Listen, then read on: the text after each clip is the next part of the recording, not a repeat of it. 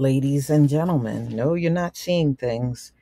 NASA is trying to develop a time zone for the moon. And I mean, just look at these outlandish things that are happening. So it's going to be a new lunar time zone for the moon.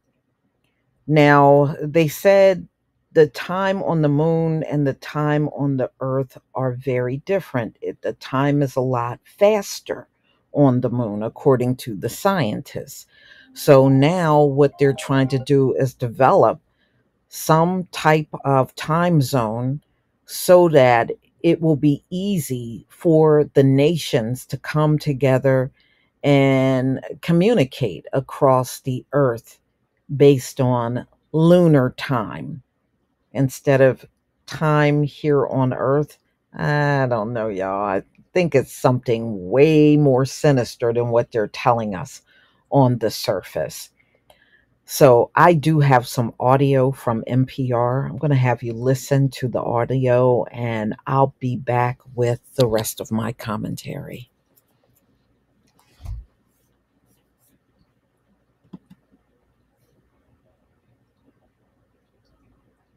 We'll be looking up at the moon and the sun to watch the eclipse tomorrow, and we're looking to the moon more and more in other ways, though, as a new private and public space race takes off. And the increased commercial and scientific focus on the moon is leading to an interesting development a moon time zone. Time moves a little faster there due to differences in gravity, and now the Biden administration is calling on NASA to create a new lunar standard time. It's needed because space flight needs extreme precision, and when lunar spacecraft and satellites operate on Earth based time, that little microscopic time difference could create problems. This seems like a topic to bring back our space lawyer for. Michelle Hanlon is the executive director of the Center for Air and Space Law at the University of Mississippi. Welcome back to All Things Considered. Thanks so much, Scott. It's great to be here. Can you tell us a little more about why this new time zone is needed? So it's really interesting because, uh, as you said, it's really important to be as exact as possible um, with respect communication between Earth and the Moon, and also recognizing now it's not just the U.S. going back to the Moon by itself, right? We are going as the Artemis partners right now, 36 nations, and they are spread out across the globe. So we've got to figure out one way where we can talk to everybody in the same time. I mean, how much is this about now versus the future? Is there enough activity orbiting the moon now to need this new time zone, or is this just about just one more way that we are laying the groundwork for what we expect to be a ton of activity there? Scott, it's absolutely about the future and the infrastructure that we need on the moon to support human activity and a human community on the moon. What we're talking about is not just precision timing with our instruments, but having people on the moon in their own time zone so they're not completely wed to the Earth um, or to the United States in particular. Yeah. I mean, you you're a space lawyer, not a physicist, but as best as you can, can you explain how exactly time moves more quickly on the moon? Sure. So what happens is that the gravitation of the moon is different enough from the Earth, and that sort of change, that minute change, is enough to uh, unsync the different atomic clocks. And so we really need to uh, work hard to sync them properly. Sort of on a, you won't notice it on a daily basis, but it will accumulate over time. I feel like I just watched Interstellar with that answer. Thank you so much. I mean, any sense of, uh, of the timeline for this and, and just kind of the logistics of how this will work? You mentioned all the other countries with interest in the moon. Is this a U.S. only project? Is this going to be a collaboration?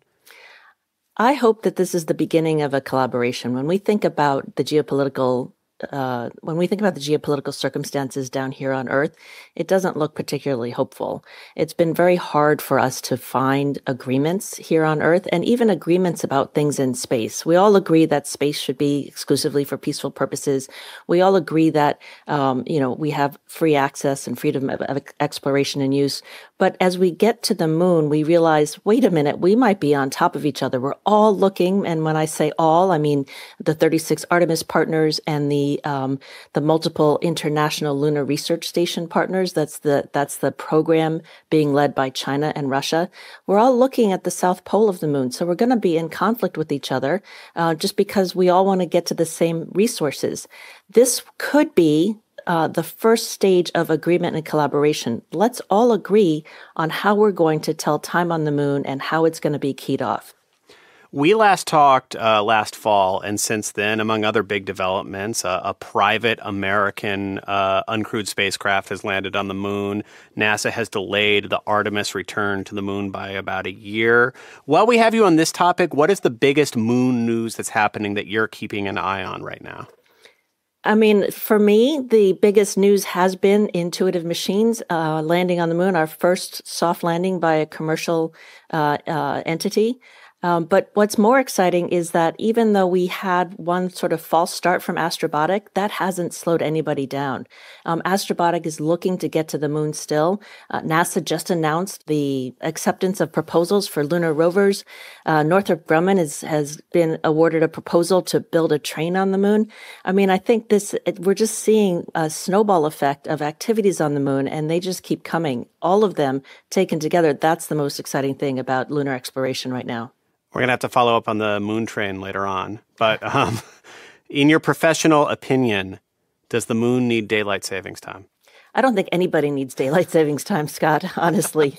we can all we can all agree on that. That's Michelle Hanlon, the executive director of the Center for Air and Space Law at the University of Mississippi. Thank you so much. Thank you, Scott.